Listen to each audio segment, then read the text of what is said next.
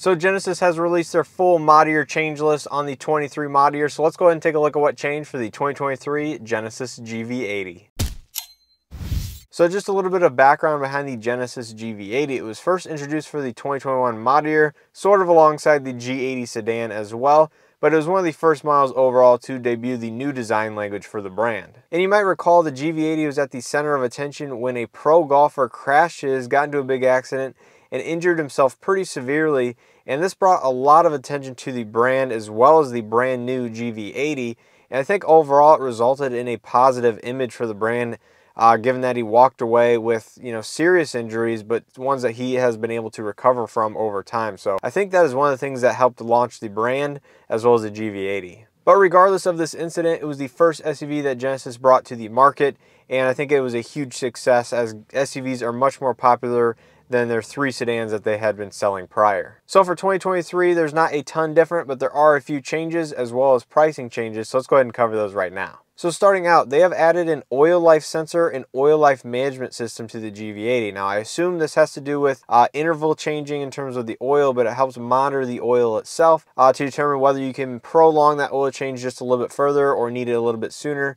Overall, I would think this helps the engine life a little bit. So it's interesting to see that they've added this system. I'm not sure if it's in other Genesis vehicles currently, but this is kind of the first time I've heard of it. So that is definitely interesting to see.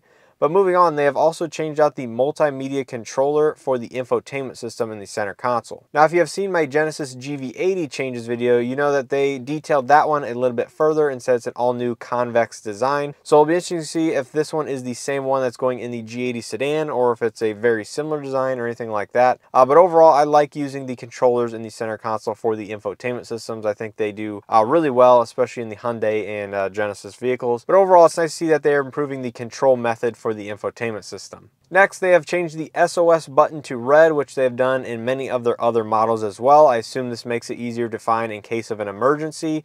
And also uh, follows, I think, the Germans as well, which have red SOS buttons or colored SOS buttons at least. So that's definitely interesting to see. And lastly, they have detailed that they've changed the second row cup holder design. Now, they've not provided any specifics about what they changed, maybe make it easier to use. I'm not familiar with the interior of the GV80. Maybe they're a little uh, difficult to use or the design was a little bit poor from the start. But anyways, they've changed the second row coupler design, so maybe they're bigger, maybe they're easier to use. So in terms of packaging, this is where the big news comes in for the GV80, and that is the fact that they've gotten rid of all the 2.5T rear wheel drive trim levels. So you can no longer get a four cylinder rear wheel drive model which was also the cheapest model that they offered. So this uh, definitely increases the base price quite a bit for the GV80. Uh, we'll cover that here in a second. And in addition to this, they have also gotten rid of the 3.5T Prestige Signature trim, which just so happened to be the most expensive G80 you could buy. So basically, they have dropped the least expensive and most expensive trims and kind of brought the two, I guess, ends a little bit closer together.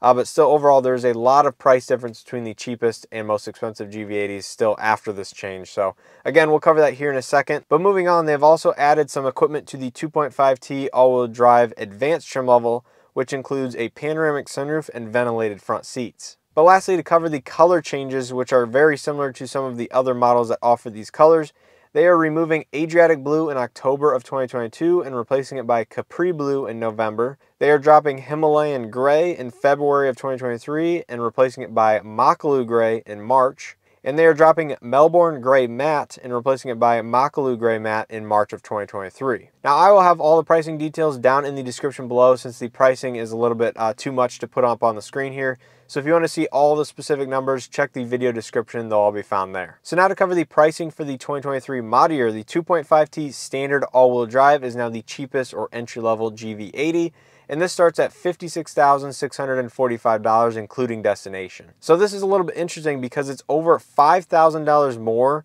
of a starting or entry level price versus the rear wheel drive from the last model year, but it's actually $550 lower than the 2.5T all wheel drive standard of the 2022 model year. So it's a little bit of a win, I guess, if you were looking at the all wheel drive base trim from last model year.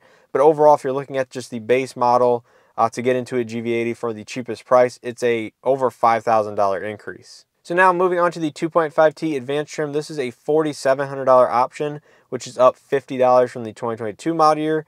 And the 2.5T Prestige trim level is a $10,700 option, which is up about $800. So overall, very modest changes here on the four-cylinder GV80, but moving on to the 3.5T standard all-wheel drive, this went up $2,100 over last year, so that is now $63,795. So looking at the 3.5T advanced package, this is a $6,200 option, which is about $850 more than last year. The Advanced Plus is a $7,900 option, which is up $500. And the 3.5T Prestige is a $12,400 option, which is up $850. And the Prestige Matte trim level is a $13,900 option, which is up about $300. So overall, you can see that most of the increase came on the 3.5T or the six cylinder side of things.